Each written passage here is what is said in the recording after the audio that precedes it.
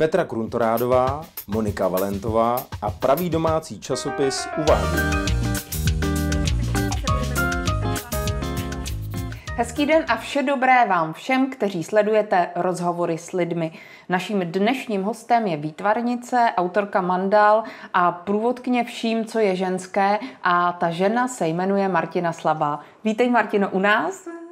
Dobrý den, děkuji za pozvání. Ahoj, Peťo. Mm-hmm. Vítej. Mm-hmm. Přijela si za námi do Čelákovic a prozradila si mi, že jsi nejprve před rozhovorem nasála atmosféru Čelákovic. Mm-hmm. To znamená, že jsi šla eh, pár kilometrů z nádraží hlavního mm-hmm. našeho mm-hmm. Čelákovického až k nám. Co si nasála?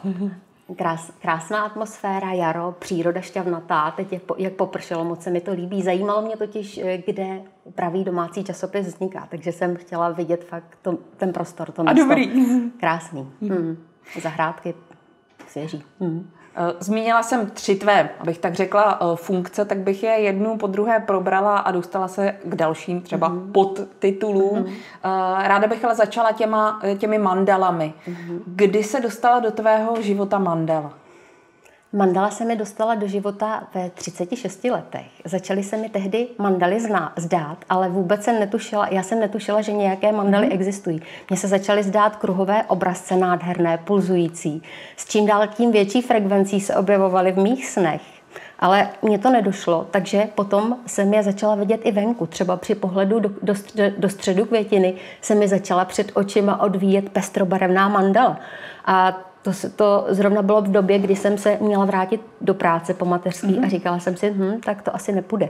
Ale pak, pak jsem jednou do ruky vzala pastelky a nakreslila neuměle tady ten kruhový obrazec a nějak mi došlo, že k sobě patříme. Tady ty tlaky ustaly a začala jsem si je kreslit pro sebe. A až teprve po třech asi letech do šuplíku jsem si je kreslila, přišli přátelé a já nesměle poprvé je vytahla a oni říkali, ty kreslíš mandaly? Mandaly. Tak, takže, takže tak. Jak to vypadalo v těch snech, ty mandaly? Obrovské, různé. Některé byly obrovské kovové, některé, některé byly jak, jako vánek z průsvitných mm, materiálů, esencí. Nemám, chybí mi trochu na to popis, mm-hmm. pamatuju si to do dneška.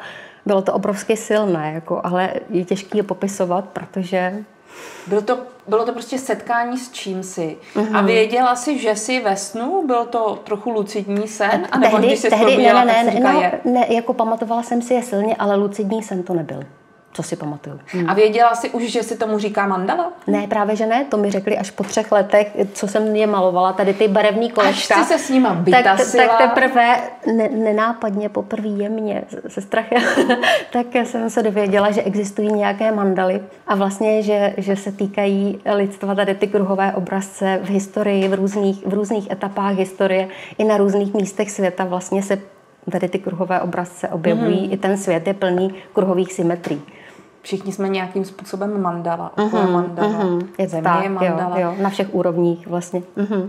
Když k tobě doputovala mandala i s tím slovním spojením, uh-huh. mandala začala si se zajímat o to, kdy eh, vznikly, v jakých částech země a uh-huh. jaké mají poslání? V té době ne, protože já jsem prožitková a pro mě je důležitý prožitek, když, když to kreslím, pardon, a nebo, nebo je s lidma můžu sdílet, ale teprve až později vlastně trošku jako pod tlakem zvnějšku, když lidi eh, chtěli vědět, co to mandala je, mm. tak jsem to začala zkoumat a trošičku, ale je, je, to, je to zajímavé, ale pro mě důležitý ten prožitek. Hmm. A předpokládám, že jsi přišla vlastně na něco, co už si věděla. Hmm. Mm, tak nějak. Cítila jsem, jako cítila jsem, že to tady tu existenci pro, pro, prostupuje, že to je základní, opravdu základní tvar, ten kruh a symetrie kruhová, že prostupuje všemi úrovněmi, to jo. Mhm. Mm. Ano. Jakými způsoby a jakými technikami mandaly maluješ mm. a tvoříš? Uh, maluji, maluji akvarelovými pastelkami nejčastěji, tak vznikla vlastně i ta sada karet eh, ke knize žena, a nebo velké na, na plátna zatím, zatím akrylem protože jsem neměla čas ještě naučit se olej. A je to v plánu? Uvidíme. Možná. Mhm. A sestavuješ si mandaly třeba z nějakých předmětů? Miluju, mhm. absolutně. Moc, moc ráda. Mm, dřív jsem vždycky se začátkem každé sezóny, jaro, léto, podzim, zima, si pro sebe skládala mandalu z předmětů. To už teď nestíhám, ale jinak kdy, vždycky, když mám pocit, tak miluju to z korálků, z mušlí, z kamínků. To je vášení. Mm-hmm. Mm-hmm. Uh, už tady uh, padlo, že jsi autorkou karet s názvem Žena, hmm. čímž se dostáváme k další oblasti tvého hmm. života a to je ženství, tvoje, hmm. ženství hmm. tvých dcer, hmm. přítelkyň a hmm. ženství všude kolem hmm. nás. Hmm. Tvoje mandaly hmm. jsou jinými slovy velmi ženské, hmm. ať už vezmeme kteroukoliv. Jak se stalo, že tě napadlo, že vytvoříš soubor mandal s názvem Žena? Mě to nenapadlo, to vůbec nebyl můj záměr, ale podobně jako za mnou přišli v těch 36 letech mandaly, tak v té době, přestože v mém životě se zdálo být všechno v pořádku, rodina, partnerství, děti už byly v té době na základní škole, já jsem si připadala silná se spoustou talentů, tak eh, jsem cítila obrovskou bolest na duši, nevysvětlitelnou a taky obrovskou vinu za to, protože mm-hmm. jsem si uvědomovala, že někteří lidé mají těžké osudy a mně se nic neděje a přitom fakt a ta bolest na duši obrovsky sílila tehdy.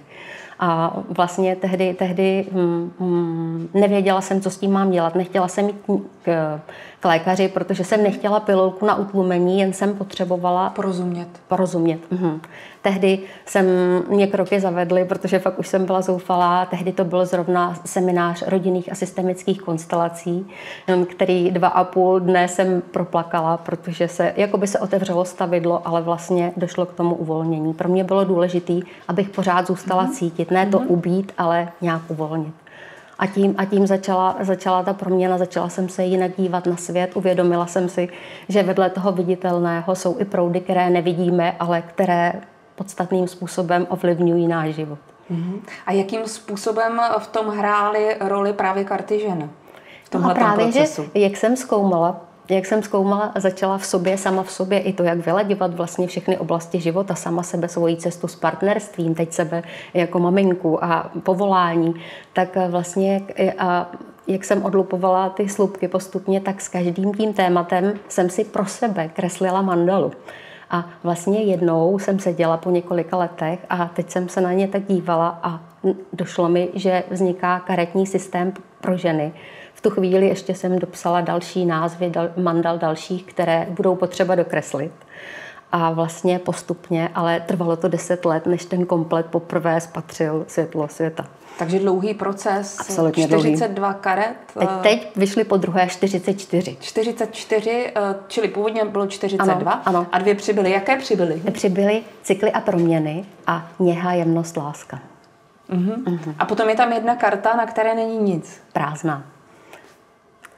Ta buď znamená, že není čas teď zrovna pro ženu s tím kompletem pracovat, a nebo je to vlastní odpověď. Přestože jsem se snažila, aby ty, mm, ty karty, ty mandaly byly o každodenních tématech, o všem, co my ženy každý den řešíme, mezi čím se rozhodujeme, tak um, může být opravdu specifické téma, které tam není, ale ta mm-hmm. žena většinou, když si tu kartu vytáhne, tak ví. Vytuší. Ví. Proč jo, tak jo. to promlouvá. Ano. Mm-hmm. Tak v tvém životě už máme mandaly, mm-hmm. už tam máme mm-hmm. karty žena a vplulo nám tam uh, tedy to eh, ženství, mm-hmm. které mm-hmm. souvisí s mnoha tvými uh, dalšími činnostmi. Mm-hmm. Uh, tak se tady ptám, co nabízíš uh, ženám, mm-hmm. hlavně v mhm. této oblasti ženství. Mm-hmm. Já to mám tak, že důležité pro mě je to zkoumání, to tvoření, malování a to žití, hlavně převádění všech těch odloupaných vrstev do života.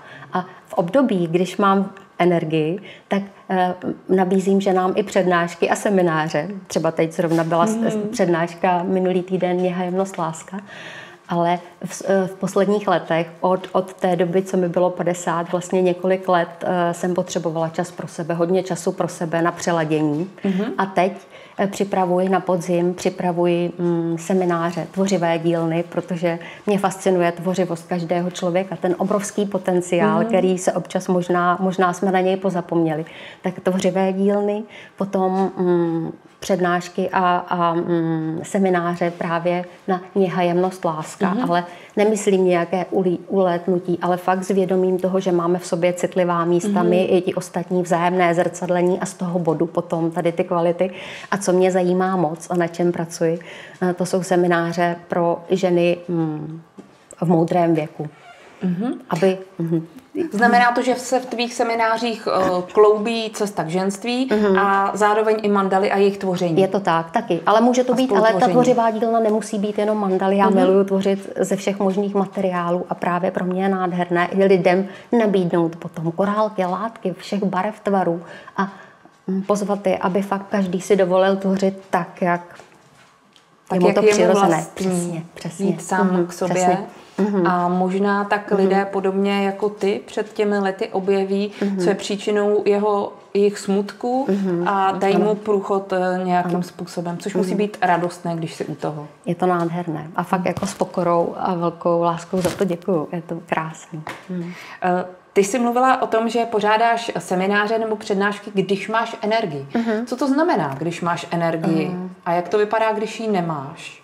Uh, je to tak, je, mm, vnímám to tak, že um, já tu energii mám i tak, ale uh-huh. um, já mám ještě i civilní zaměstnání, vedu firmní kurzy jazykové a je to pro mě tak, že ty, že ty, mm, že ty kurzy, mm, že nám nabízím jako z přebytku, jako když fakt tam pro ně můžu být úplně celocele, ale někdy v životě se dějou takové věci, že já tu energii potřebuji věnovat do života, třeba teď například to přelaďování a ty eh, semináře by mohly taky probíhat, ale já prostě si zatím potřebuju stát úplně z hlouby duše. Mm-hmm. Myslíš si, že současná česká žena umí eh, tohleto tak jako ty poznat, že už teď bere energii z nějakých rezerv? Není problém současných českých žen, že jedeme ani ne tak na doraz, ale hodně za doraz? Já ale to taky někdy přepálím. Mm. Já si myslím, že to je proces, ale že to jsou právě ty drobné kroky, kdy se to můžeme učit, jít po kousíčkách, eh, každá k sobě samé, uvědomovat si, to je to každodenní rozhodování, ten vír každodenních činností a v rámci toho drobné rozhodnutí, drobné kroky, mm. kdy respektujeme i sebe, své tělo, své pocity, ale nemusí to být revoluce, ale mně přijde, že ty droboučky, mm. krůčky a i to, že člověk si dovolí udělat chybu a tady to někde přepálí, tak příště už si třeba dá trochu pozor. Mm. Jo. Eh, pak eh, by mě eh, zajímalo to, co jsi říkala, že přelaďuješ uh-huh. z jedné etapy uh-huh. do druhé. Uh-huh. Jak si to máme vysvětlit? Z, z osobního cyklu potom na, na cyklus vlastně, kdy už, už nemám osobní cyklus, ale uh-huh. přelaďuji na velký cyklus luny. A tady tohle období mi připadá, že mm, má v sobě obrovské dary, akorát ve, teď ve společnosti mi přijde, že je to trošku tak, že je tlak na ženy, aby velkou část energie věnovali tomu, aby i v tomhle věku mm-hmm. působili furt obrovsky mladistvě svěže. Mm-hmm. A já si myslím, že udržovat tělo pružné, pružnou mysl, mm-hmm. že to je potřeba pečovat o sebe. Ale pokud se to stane hlavním zájmem, tak pak nez, nezbývá energie na to fakt se ponořit do sebe a rozvinout ty nejhlubší dary, které, mm-hmm. které v sobě máme a které mm-hmm. třeba do té doby nebylo možné rozvinout, protože jsme dělali spoustu jiných mm. věcí. Jak můžou vypadat rituály nebo věnování se mm-hmm. sama sobě eh, v tom momentě, kdy se ponořím sama do sebe, mm-hmm. sleduju, jestli mám vůbec energii, mm-hmm. nemám energii, mm-hmm. k čemu jsem na světě, jak to vypadá u tebe? Já to, já to cítím, já to cítím a mm, mně to připadá přirozený, že to cítím, ale někdy, někdy si toho naplánu nebo se toho děje tolik, že stejně se nechám, se sama sešrotuju, nebo nechám sešrotovat tím děním, ale mně to připadá. Mm. Myslíš mm. si, že není náhoda, že máš dvě dcery s tímhletím svým určitě, posláním? Určitě, určitě nic není náhoda asi, ale my jsme teďko, já jsem dostala takový dar, že my jsme čtyři generace dospělých žen, teď vlastně dcerám je 27, 24 a já mám i maminku a babičku. A vlastně i tím, jak um, dostala jsem ten dar a vidím, kolik lásky a síly tím systémem proudí, ale zároveň taky občas nepochopení vlastních neslučitelných pravd a bolesti. A vlastně můžu pozorovat, jak ten systém pulzuje. Vlastně, jak když se uděje něco v jedné generaci, tu propojenost, vlastně mm. i to zrcadlení, tak jak se vlastně pohybuje celý ten systém jemně. Je eh, to asi důležité zažívat eh, strasti, slasti, radosti mm-hmm. i mhm. starosti mhm. vlastní rodiny mm-hmm. a potom eh, o tom mm-hmm. přednášet mm-hmm. nebo dávat příklad druhým, že jo? Prožít si to své. Mně přijde ten osobní prožitek, mi přijde důležitý u toho. Připadá mi důležitý. No. Ale jinak já se setkávám se spoustou žen, takže znám se spoustou jiných, jiných příběhů, ale určitě. Mm-hmm. Uh, tvým koníčkem je, a teď to bude uh, znít uh, možná trošku legračně, balení. Jo, jo. Že jo? A teď, jak jsi se zatvářila, tak je evidentní, no, že si nevymýšlím, jo. že opravdu Já, já miluju tak. balení dárku, od jak živa. Jo. A vlastně tady, jak je ten komplet žena v krabičce s kartami, tak já ještě na, na něj vyrábím na každý eh, květinu z organzy a vlastně dárkově ho balím s mašličkou. Musím se přiznat, že teď v době, kdy opravdu, kdy řešíme hodně odpady a hodně přemýšlíme mm. nad mhm. tím, co kupovat, co ne, tak že jsem to několikrát v sobě řešila, ale zatím jsem ve fázi, když to procituju, že ta radost té obdarované ženy, když dostane s láskou zabalené e, dárkové balení, tak že je větší než ta škoda, kterou tím jedním pitlíkem udělám přírodě. Ale pravidelně to mm-hmm. ověřuju, a jo, protože je to důležité, ale zatím, zatím to takhle cítím bytostně, i když přijdu na akci třeba alternativní nějakou, kde si říkám úplně hodně, si říkám, já to tady radši ani nebudu vybalovat, ale pak tam třeba dva kousky dám, tak stejně ty dárkově zabalené mizí první. Je o ně zájem. Je o ně zájem. Jaký uh, má pro tebe význam slovo dárek? Co se za ním skrývá? Mm-hmm, mm-hmm. Pro mě tady v případě třeba toho dárkového balení je to, je to pro mě, je to pro mě hmm, můj příspěvek k tomu rozvíjení ženství. Teď tady pro mě je důležité, je důležité vlastně, aby my ženy jsme se dostali blíž k sobě partnerství, vztah ženy a muže. Takže tady v tom případě je to takový moje přispění, pohlazení a toho tématu. A uh, co pro tebe znamená slovo tajemství? Teď si představím, uh-huh, že je třeba ten balíček uh, zavalený tak, uh-huh. že je na něm jenom ta tvoje krásná organzová květina uh-huh. a není to v průhledné folii, uh-huh. ale uh, je to zabaleno tak, že nevíme, co tam je. Uh-huh. To skoro uh-huh. každého láká, že jo? Uh-huh. Nikdy jsem tak nad tím nepřemýšlela, mm. ale teď, když to říkáš, možná jo. No, on, on, i ten název totiž, on vlastně, ty karty se jmenují jen žena vlastně. Mm-hmm. Já jsem měla tehdy, než jsme je vydávali poprvé, tak jsem měla možná 200 podnázvů jak by se to mohlo jmenovat a když jsem celý tady to prošla, tak jsem se zase vrátila zpátky k názvu žena. Mm-hmm. Mm-hmm. Jak pomáhají tvé karty žena? Mm-hmm. Jak je používat? Já jsem obrovsky vděčná za to, co se, že, že se to tak děje, protože těch deset let, eh, co jsem je kreslila, byla spousta energie i času. A oni jakoby ze spoda se nějak rozšířili, rozšířili mezi ženy na ženské kruhy i do firemního prostředí, kouči je používají. A co mám zpětnou vazbu, tak eh, ženy, ženy si uvědomují, že mají vnitřní hlas, intuici a že i ten je dobré mm, zahrnout do, do té každodennosti. Učí se naslouchat sobě. Mm. Používáš sama třeba nějaké jiné karty? Mm, já mám doma asi troje karty a Osho, Osho Zentarot někdy. Mm-hmm. A pak nějak stromy. Mm-hmm ale asi se shodneme na tom, že když už se přeladí z jedné mm. frekvence do druhé, jak se mm. o tom eh, mm. mluvila, tak pak karet není třeba, to, protože to je ono je to vlastně všude. Mm. Podívám se na mango, jaký to má přesně, tvar přesně, a přesně, vím, co přesně, mi přesně. kdo chce ano, sdělit. Je, je to je tak. tak. I, i, I takhle to přesně vnímám, že cílem je nepotřebovat žádné karty, žádné pomůcky a prostě to v sobě cítit. Ale než se tak stane, než se tak stane radujeme se z toho, mm-hmm. že jsou mezi námi mm-hmm. autorky mm-hmm. takových krásných mm-hmm. karet, jako si třeba ty a předpokládám, že karet bude ještě zapotřebí mm-hmm. a že třeba bude mm-hmm. zapotřebí i nějakých dalších tvých produktů k tomu, abychom se ladili na svou intuici. Mm-hmm. Jinými slovy se ptám, co je v plánu, Martinu. No, teď, já teď, teď hodně pracuji právě na těch seminářích, připravuji na, na podzim, ale jinak možná kniha, ale ještě zatím ani nic nepíšu, ale možná, možná lítá ve Tady se něco píše. Něco, už. něco ně, ně, někde se něco píše. Uh-huh, uh-huh.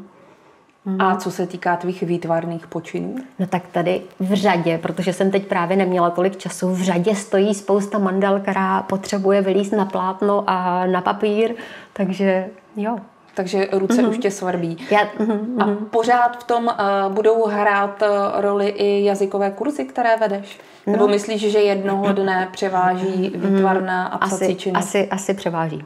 Asi mm-hmm. převáží. Mm-hmm. Ono i teď už jich je mnohem méně, ale já si je pořád tak nechávám, protože mě to i tak drží hezky nohama na zem. I mě to taky baví vlastně uh, t, um, jít do hloubky, zacelo, scelovat ten jazyk, ale zároveň si u toho hrát. Jo, tak já to mám ráda, ten proces, mm. ale Hmm. Mluvila jsi tady o věku uh, zralosti uh, ženy, do kterého hmm. si dospěla a hmm. velmi pěkně si to uh, hmm. popsala, tak se zeptám, uh, je ti lépe teď v tvém věku, anebo když ti bylo třeba 20? A nebo obojí to mělo já, já něco do řekla sebe? přesně, že, že každý ten věk má něco do sebe, ale já fakt jsem teď ráda v tomhle věku. Nechtěla bych nic vracet a připadá mi to úžasný a žít ho v téhle době, za to jsem fakt vděčná. Mm. Nechť eh, je to nám všem ženám, velkým, mm, malým, mm, různě dospělým inspirací. Mm. Děkuji ti za návštěvu u nás mm. v rozhovorech s lidmi i v Čelákovicích. Doporučuji projít se ještě kolem Labe. Půjdu kolem řeky. A těším se, až si zase vytáhnu některou z tvých karet, protože je pravda, že to napojení je, ale s kartama je to větší zábava. Děkuji za návštěvu. Děkuji, Peťo, za pozvání. Díky. Hostem rozhovoru s lidmi byla Martina Slabá.